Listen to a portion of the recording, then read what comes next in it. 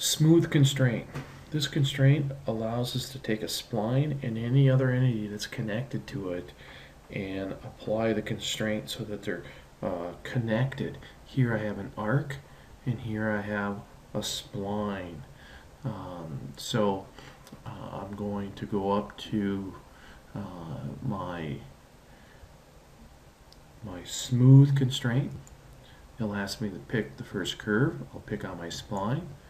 Ask me to pick the second curve. I'll pick on my arc.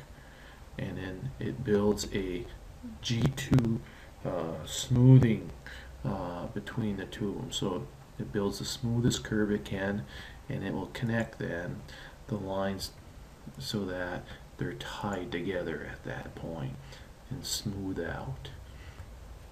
So the smooth constraint uh, applies uh, different types of splines together so we can tie a, a line, an arc, or another spline to a spline.